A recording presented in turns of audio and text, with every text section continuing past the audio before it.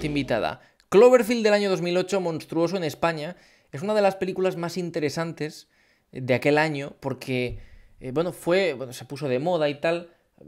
Chronicle, por ejemplo, es otra película que se hizo unos años después en esta misma tesitura, que también está bien, en la que se sigue un poco el estilo del found footage, ¿no? Bueno, un poco no, todo. Es decir, la película no está grabada de forma habitual, sino que es básicamente grabaciones que se ponen en la peli y que pues como una cámara que ha grabado, ¿no? Y poco a poco vamos viendo la historia. Esta película no es una gran película, pero dentro de lo que pretende ser, es muy funcional. Es de las películas que mejor funcionan de este estilo.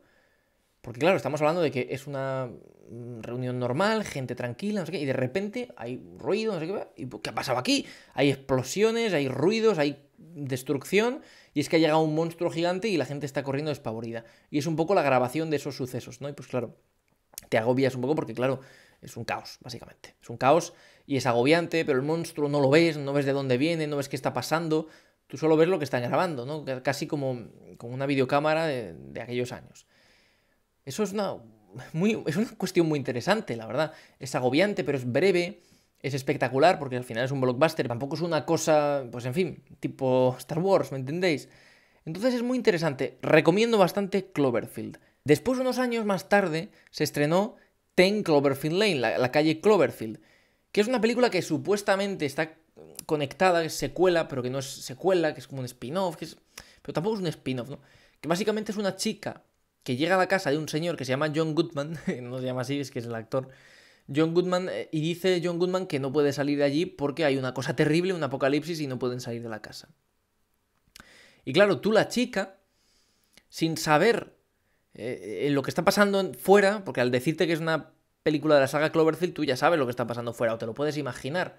Tampoco sabes exactamente qué es lo que está pasando, porque solo has visto el, found footage de, de, la primera peli. Pero tú ya sabes que algo está pasando.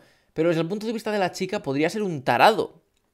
Como es evidente, ¿no? Entonces es una película con muchísimo suspense muy diferente. Nada tiene que ver. Son totalmente opuestas las películas. Son antología, ¿no? Se llama la, saga. Es decir, y hay, pues, como por ejemplo, Black Mirror, los episodios, que son que cada producto es algo distinto.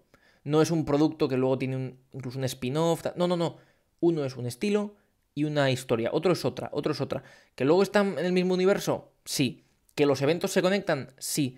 Pero son cosas individuales que pasan al mismo tiempo con diferentes personajes en la misma, en la misma historia, ¿no?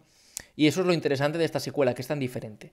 Yo la recomiendo mucho, la verdad. Me gustó más probablemente la primera porque es más impactante, pero la segunda es un estilo tan diferente que merece bastante la pena, sin duda. Y luego la tercera entrega que es Cloverfield Paradox, la paradoja Cloverfield. Eh, bueno, además me acuerdo que se estrenó de, sorpresa en, Netflix, dijeron, venga, va, pues la mañana la estrenamos. ¿Qué? ¿Qué?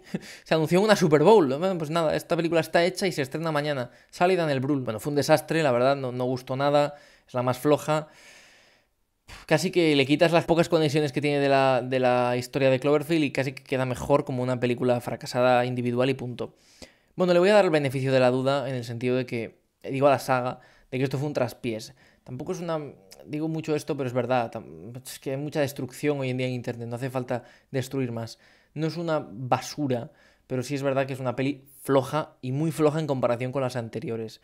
Que nada tiene que ver. Pero bueno, me podéis decir que eso no es excusa y tenéis razón porque cada película es diferente. Supuestamente hay una continuación de la original. Habrá que estar atentos a novedades porque es un universo interesante por cierto, universo de JJ Abrams, que él produjo. El experto en crear preguntas que nadie responde, ¿no? Ya sabéis esta cuestión.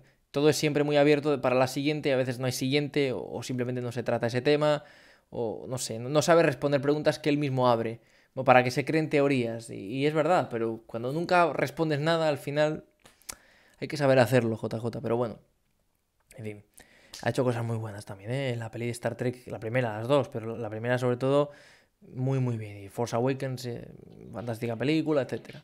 Super 8, bueno, no está mal. Y luego esto, pues siempre que ha, estado involucrado en las películas, pues han salido bien. Esta última no salió tan bien, ¿vale? Pero demos el beneficio de la duda